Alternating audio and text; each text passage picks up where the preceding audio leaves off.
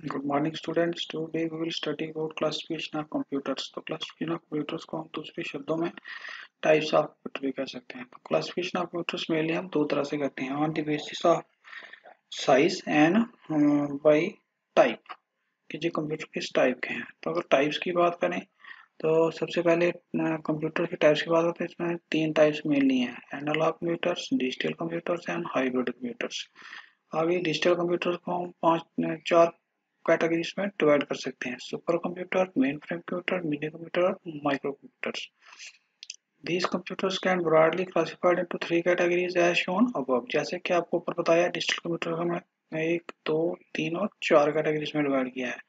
Super computer main frame computer mini computer और microcomputer सबसे पहले हम एनालॉग कंप्यूटर्स को करेंगे। An analog computer is a computer which is used to process analog data Analog computers store data in a continuous form of physical quantities and perform calculations with the help of measures. It is quite different from the digital computer which makes use of symbolic numbers to represent results. Analog computers are excellent for situations which require data to be measured directly without converting into numerals or codes. Analog computers, although available and used in industrial and specific applications like control systems and aircrafts, have been largely replaced by digital computers due to wide range of complexities involved in them. तो जैसा कि आपको पता चल गया कि analogue computers वो computers होते हैं जो एनालॉग डाटा को एनालॉग डाटा को प्रोसेस करते हैं। तो एनालॉग डाटा कौन सा होता है? जैसे टेम्परेचर प्रेशर इलेक्ट्रिसिटी एक्स्ट्रा ये जो है, ये एनालॉग डाटा है। तो इसके एग्जांपल्स हैं voltmeter meter V tape players and record players ये सारे क्या हैं? एनालॉग कंप्यूटर्स हैं।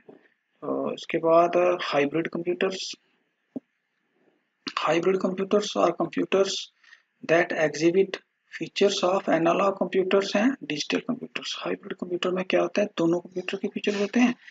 इसमें डिजिटल कंप्यूटर्स के फीचर भी होते हैं और एनालॉग कंप्यूटर के फीचर्स भी होते हैं। A hybrid computer is a computing system that combines both digital and analog components. Traditionally, analog component of the computer handle complex mathematical computations, the digital components take care of logical and numerical operations. In addition of in addition to serving as controller for the system. इसकी example है machine, electrocardiogram, echocardiogram machine, ultrasound machine, CT scan machine, etc. ये इसकी examples हैं hybrid computers के तो digital computers की बात करें The digital computer is the most commonly used type of computer. A computer that performs calculations and logical operations with quantities represented as digits usually in binary number system digital computers कौन से computer होते हैं जो आजकल हम use कर रहे हैं ये सारे डिजिटल कंप्यूटर्स हैं और ये इनपुट और आउटपुट किस फॉर्म में देते हैं बाइनरी फॉर्म में बाइनरी फॉर्म में हमारे पास सिर्फ़ दो ही नंबर होते हैं ज़ीरो और वन जी हर चीज़ को ज़ीरो और वन की फॉर्म में स्टोर करते हैं The digital computers can be classified into four types on the basis of size and performance. आप डिजिटल कंप्यूटर को हम आगे फर्दर फोर टाइप्स में क्लासीफाई करेंगे, इनकी साइज़ और इनके जो परफॉर्मेंस के हिसाब से। सबसे पहले जो टॉप कैटेगरी में आता है, वो है supercomputer these are the most powerful expensive computers among digital computers ये बहुत ही पावरफुल और बहुत ही एक्सपेंसिव कंप्यूटर्स हैं जो कॉमन मैन के यूज़ के लिए नहीं है। These they can execute billions of floating point instructions floating point instructions इसमें per second these are multiprocessor parallel system a typical modern super supercomputer work much more quickly by splitting problem into pieces of work ये क्या करता है एक बड़ी problem को छोटे छोटे पीसीस में उसको डिवाइड करता है और हर एक पीस पर अलग अलग से काम करता है at the same time is called parallel processing इसको हम पैरेलल प्रोसेसिंग कहते हैं In parallel processing, problems are broken up into components, each of which is handled by the separate processor. These computers are used for complex scientific applications. ये बहुत ही complex जो application होती हैं उनको प्रोसेस करने के लिए इनको यूज़ किया जाता है for example weather forecasting nuclear scientific research and aerodynamics seismography extra these are highly reliable computers example इसकी है Param and Anurag are supercomputers produced by India and exported to many other countries उसके बाद इसके नीचे आता है mainframe computer these are very large and expensive computers have greater processing speed and very large storage capacity इनकी capacity जो होती है, जो सुपर कंप्यूटर से थोड़ी सी कम होती है, लेकिन जो भी बहुत ही हाईली एक्सपेंसिव कंप्यूटर्स हैं, बहुत सारी स्पीड है इनकी और बहुत सारी स्टोरेज कैपेसिटी है। They are multi processor and multi user system इस पर बहुत सारे यूज़र्स एक समय में काम कर सकते हैं।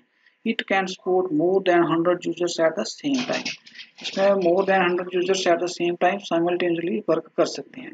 They are use for big enterprises and government organization for huge data processing they are highly reliable इसकी एग्ज़ाम्पल है I C I thirty nine C D C six zero zero VAX eight eight four two and IBM 3090 extra इसके नीचे आते हैं minicomputers तो जो minicomputers हैं these are the most powerful than microcomputers ये microcomputer से ऊपर आते हैं और मेन फ्रेम से नीचे आते हैं. They have high processing power and capability इनकी भी बड़ी हाई प्रोसेसिंग पावर है और कैपेबिलिटी है.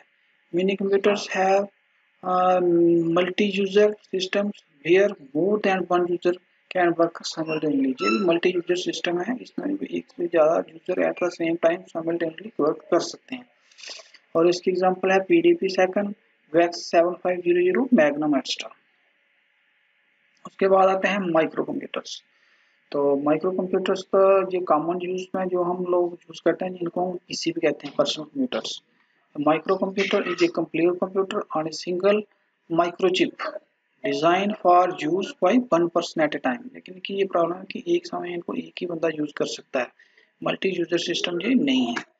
तो उसके बाद, These are now primarily called as personal computers, इनको हम पीसी भी कहते हैं। Common microcomputers include laptop desktop और इनको हम अगर चाहें तो सब कैटेगरीज में डिवाइड भी कर सकते हैं। जैसे डेस्कटॉप हो गया लैपटॉप हो गया पाम टॉप हो गया। और हैंड हेल्ड कंप्यूटर्स हो गए और बहुत जो छोटे छोटे कंप्यूटर्स हैं, उनको भी हम इस कैटेगरी में रखते हैं। तो आज के लिए इतना ही था। Thanks have a nice day